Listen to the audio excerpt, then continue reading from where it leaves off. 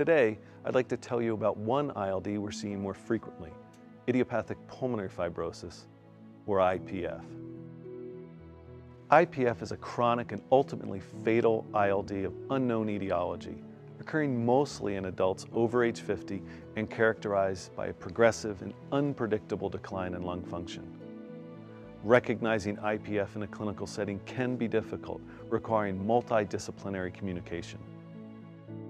A critical diagnostic tool in use is high-resolution CT.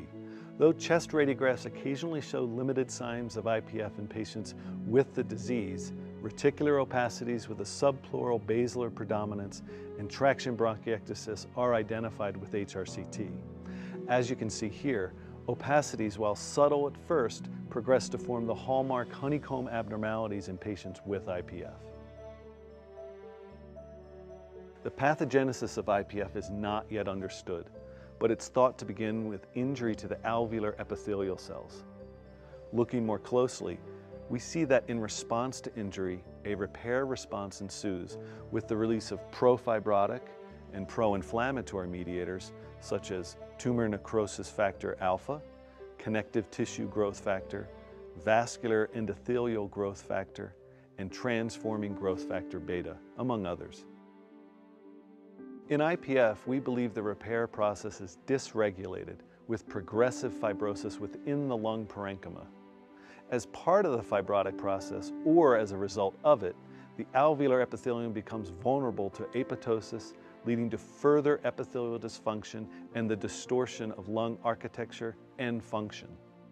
The rate at which this process progresses is highly unpredictable from the time of diagnosis. The clinical course of the disease varies for each patient and can take several forms. Some IPF patients remain stable for years after diagnosis, while others, a minority, experience a rapid deterioration of lung function. The classic course, however, is thought to be a slow decline in lung function and a worsening of symptoms until respiratory failure or a complicating comorbidity occurs.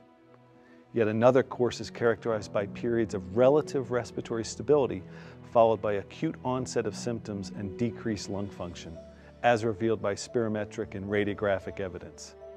These sudden periods of worsening or exacerbations can occur at any time during the course of IPF, adding to the unpredictability of the disease. Furthermore, the mortality of each exacerbation is significant, as indicated by the marked decline shown. There's a lot we don't know about these events. In some cases, they can be brought on by pneumonia, pulmonary embolism, cardiac failure, or other comorbidities. In other cases, cause cannot be identified. Presently, it's not known whether exacerbations are a natural acceleration of IPF. Likewise, it remains unclear whether these courses are discrete phenotypes, as many variables may affect the course of the disease. It's important to note that IPF carries a poor prognosis. In fact, IPF's mortality rate is higher than many cancers and all other idiopathic interstitial pneumonias. For most patients with IPF, the median survival rate is two to five years after diagnosis, with 20 to 40% of patients living to five years and some living considerably longer.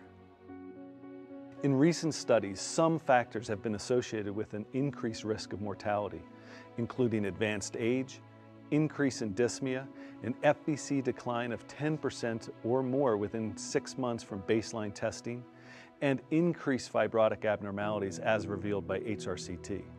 Thus, careful monitoring of IPF every four to six months, as indicated by the ATS, ERS, JRS consensus guidelines, allows patients with progressive disease to be identified and is important for determining appropriate disease management. IPF is a devastating disease, but with proactive management, we can continue to help patients, supporting their physical and mental well-being as they cope with the burdens of the disease. Every day we learn more.